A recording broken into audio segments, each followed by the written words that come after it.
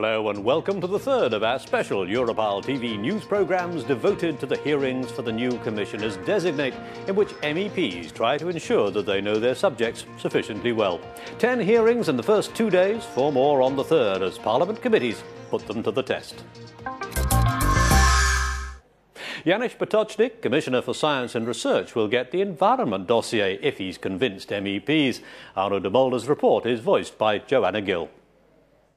Europe will exist as a green continent or it will not exist at all. That's the vision of Slovenian Janez Potočnik, the current Energy and Research Commissioner and future Environment Commissioner. During a hearing lasting three hours, he explained his policy, which hinges on a sustainable green economy, to MEPs. Um, how do you respond to those who say that we can't afford to invest in the environment now because we have to put jobs first? How the business should react are pretty simple who will be sooner in that job will be the profit winner. The other key policy theme was the fight against the decline in biodiversity. 2010 is the year of biodiversity. As Janez Potočnik conceded, existing legislation is sometimes poor or not applied by some member states. How are you going to convince your colleagues of especially fisheries and agriculture about the importance of biodiversity? When we talk about the target of, uh, which we set for 2010, we can clearly say that it's a failure. I intend to approach to colleagues and try to find the, the, the line, giving them the hand of cooperation. The Environment Commissioner will lose power in one area, that of climate change. A fellow commissioner will be assigned to work side by side with Janez Potočnik on this portfolio. It's one of the biggest changes in the new legislature. The Commissioner designate will, however, remain responsible for water, air, and soil management policy if MEPs confirm his candidacy. MEPs will decide on January 26 during the Strasbourg plenary. Well, we now join Andreas Regal outside the hearing, and with him is Commissioner Potočnik, for whom, of course, Andreas, this is not a new experience. No, Jim, that's right. He's done it before, five years ago, and a certain trend has emerged. Really, uh, the commissioners designate who have done it before have fared uh, very well so far, and perhaps uh, Commissioner and Commissioner designate Potočnik better than all the others, even. I mean, one of the Lithuanian members said he has never heard as much applause in a hearing like that, neither now, now nor five years ago. So, Commissioner Potočnik, uh, Commissioner designate Potočnik, you must be very happy. Yeah, I am very happy. I tried to do an honest job. I tried to prepare myself as it one should. It was uh, quite some time from the Christmas till here uh, because the area is really, really broad, uh, but uh, it's paid off. Uh, and another member uh, mentioned that uh, when you were before, uh, commissioner for, uh, for research, before everybody is for research, and he said, uh, yeah, you are still, of course, and everybody also is for the protection of environment, but the political, party political divides are much, much bigger in this one. Um, do you think that you have tackled that problem already here quite well? Listen, I think that part, of, that part of the political culture which I try to follow is the cooperation with all the political parties. Here we are to protect European interests and to work for everybody, and that's exactly the intention which I intend to follow also in my next mandate. Briefly and finally, perhaps, so what are the, the big um, priorities now? Yeah, the big priorities are, uh, are I, I would like that we would switch as much as possible to the resource-efficient economy.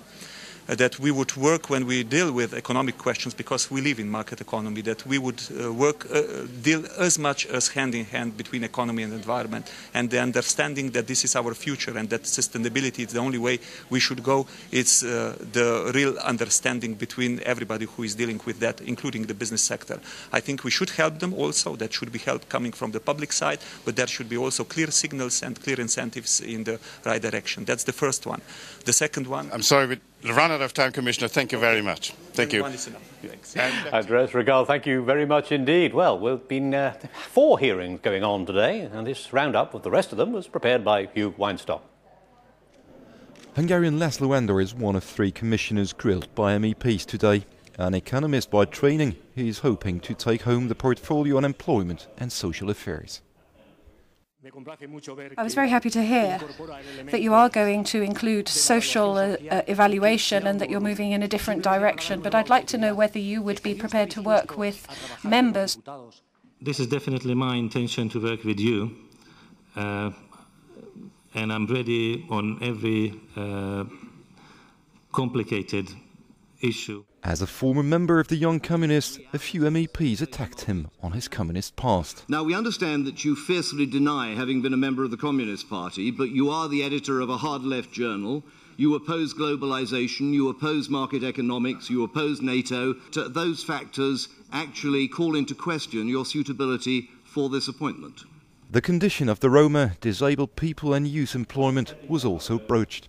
Laszlo Andor's hearing failed to convince all of the MEPs. Some found his responses evasive on particular issues.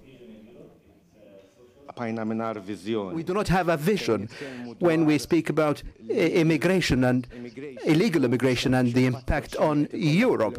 Uh, I am sorry to say that you have no idea how serious the situation is in the south of Europe. Irish woman Máire Geoghegan-Quinn is up for the post of Research, Innovation and Science Commissioner. I'm into action. We've done enough talking. The time is now for action. Frenchman Michel Barnier is set to take on the portfolio for internal market and services. During this period of economic and financial crisis, his arrival is hotly anticipated. Roughly halfway through the hearings process now, how do MEPs think it's going? Well, Andreas Rögahl is near where they're being held, along with German socialist Jo Leinen. Andreas. Yes, uh, Jim and Jo Leinen is, of course, the president of the Environment uh, Committee. Uh, just finished the hearing of Commissioner Designate Potočnik, which went very well. So my first question, perhaps, to uh, President Leinen is already, uh, are you looking forward to working together with uh, Des Commissioner Designate if he is, of course, uh, approved by the Parliament? I think he presented a good performance. He was quite outspoken on many questions that the members of the Environment Committee put him and uh, he's committed to the ecology question. So I think that's a good starting point for our assessment now in the next hours. And um, I'm quite satisfied by these three hours, what we heard from him. And uh, in terms of collaboration uh, with Parliament, of course, we heard of, uh, by some members of, uh, of, some schemes. I mean, there is new uh, uh, provisions in the, uh, in the Lisbon Treaty, of course, uh, but uh, things have not quite been clarified in some ways, and some members are calling for a better, stronger, and clearer, perhaps, wording for collaboration with the Commission, with Barroso, in initiatives of, of, of, a legal, of, a legal, nature. is he on your side? What, what is your impression? Yeah, uh, the Commission has still the monopoly for legislative initiatives, which is not normal. Normally, parliaments have uh, as well the right of initiative, and therefore I think Barroso has to commit uh, himself for the whole college. And I think Potočnik is on our side that uh, when there is a strong will expressed by the plenary of the European Parliament, for an action and a legislative initiative that then the Commission is really following the Parliament and not blocking the Parliament. So I think he's uh, quite positive on, on this point. Joe thank you very much. Back to you, Jim. Andreas Rögahl, thanks a lot there. One of the biggest names among the prospective commissioners is Michel Barnier, who looks set to get the powerful internal market and services dossier. Joanna Gill's been looking at his distinguished career. Michel Barnier has served his party in such a variety of roles, inside and outside of governments and parliaments, that one could reasonably call the 59 year old the jack of all trades of neo Gaullism. Barnier was first elected to the French National Assembly at the age of 27, representing the Alpine department of Savoie.